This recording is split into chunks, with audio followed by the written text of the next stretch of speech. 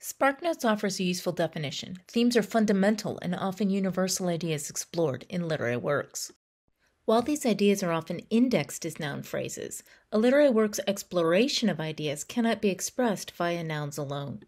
This Course Hero page illustrates the distinction. The thematic topic, expressed as a simple noun phrase, serves as the heading. The literary work's treatment of the topic, the theme, is expressed in full sentences below.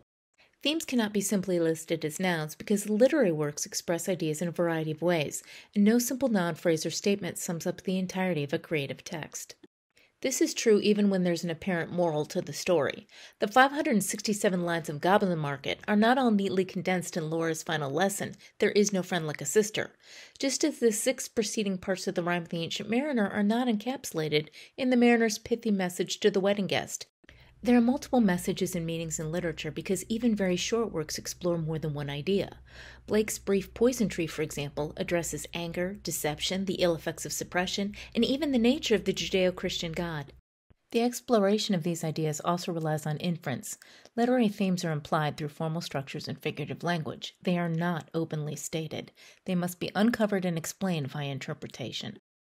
Consider Hamlet. The revenge tragedy obviously deals with vengeance. The famed play, though, doesn't provide a simple take on that important topic.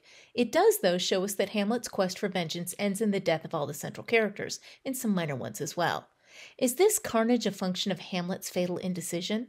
Does Polonius's death subtly suggest Hamlet is as guilty as his father's killer? Might Ophelia's suicide say something about the all consuming nature of vengeance?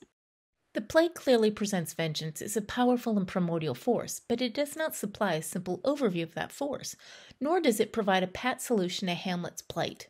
Instead, it stages the complexities of a moral dilemma, providing a scenario where the audience can draw its own conclusion based on the supplied evidence.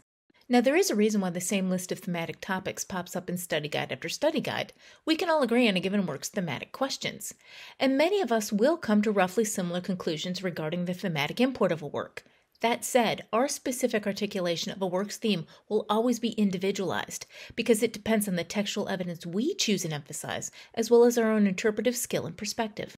Literature does not stand the test of time because it provides simple solutions or uniform or universal answers.